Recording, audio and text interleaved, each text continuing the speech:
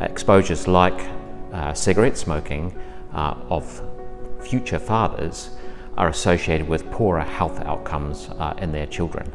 To try and understand what was the biological mechanisms that can explain the association between fathers smoking and health of their offspring, we took DNA from the children and we measured uh, epigenetic patterns. So epigenetics are chemical changes to the DNA uh, that control gene expression and can result from changes in the environment.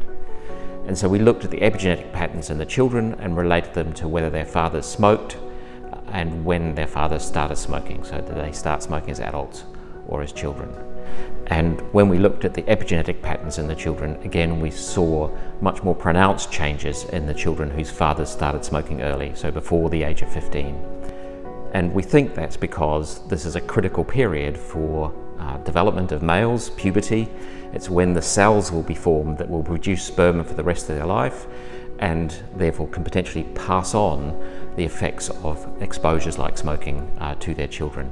In previous studies, we and others have already shown that uh, mothers who smoke during pregnancy, we can see a specific epigenetic signature in their offspring. So for mothers who smoke, uh, you're getting a direct exposure of the child during pregnancy to components in the cigarette smoke uh, that can cross the placenta and directly affect the developing child. When we're talking about fathers smoking and fathers who smoke before their child's even conceived, we're talking about passing that information uh, through sperm into the fertilized egg. One of the components of cigarette smoke that may cause these effects on subsequent generations is nicotine.